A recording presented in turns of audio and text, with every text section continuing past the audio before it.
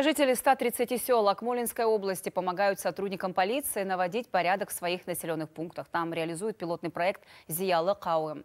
Он нацелен на предотвращение различных правонарушений. Результаты налицо. В этом году преступность в регионе снизилась почти на 2%. Подробности у Аслана Абуталипова.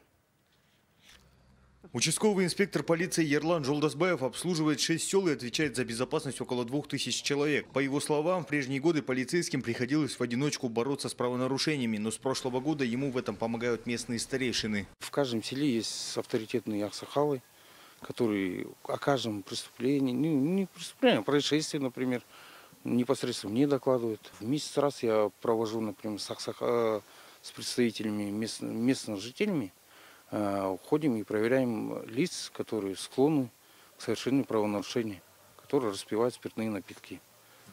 Э, во избежание дорожно-транспортных происшествий в селе Атамикен с местными жителями были установлены знаки. Такую инициативу полицейских поддерживают и сами сельчане. По их словам, вместе с участковым инспектором удается не только предотвратить ДТП с участием домашних животных, но и пресекать скотократство. Это наоборот хорошо же, когда порядок, дисциплина когда люди не воруют. Намного тише стало. И гонщиков мало, машин меньше гоняет. Вот знаки поставили, вот, ограничения, асфальтировано все, освещение есть. В селах, где был запущен проект «Диалог Холм» с прошлого года не зарегистрировано ни одного правонарушения. В целом за последние три года преступность в области снизилась на четверть.